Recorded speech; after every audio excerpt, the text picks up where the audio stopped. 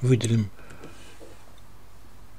прямоугольником основные три формулы, с которых мы начали, и перейдем к одному из основных понятий.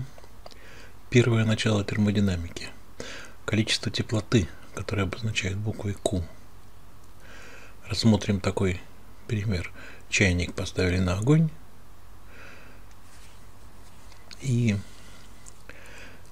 за счет теплопередачи разогретого газа в огне вода в чайнике получает какое-то количество тепла Q. При этом повышается внутренняя энергия. И когда у нас закипит, то пар будет поднимать крышку, совершая работу. Это все можно записать в виде основного соотношения термодинамики, которое называется первое начало термодинамики, Q равно дельта U плюс А, где А это работа газа, У это внутренняя энергия, которая является функцией только температуры, а работа и количество тепла зависят от процесса.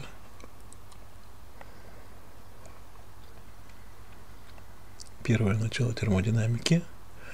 Работа, произведенная над телом, идет на увеличение его внутренней энергии и завершение этим телом работы. И рассмотрим такой простой пример, когда у нас совершаются в идеальном газе три процесса. Рассчитаем термодинамику этого процесса. Работа за весь цикл будет равна сумме работ на каждом участке – Работа на участках 2, 3 и на 4, 1 будет равна нулю. А работа на участках 1, 2 и 3, 4 горизонтальных участках будет определяться приведенными формулами. А 1, 2 положительная работа будет равна площади, заштрихованной справа налево, а 3, 4 будет отрицательной, заштрихованной слева направо. В сумме получится работа, которая равна площади внутри функции процесса.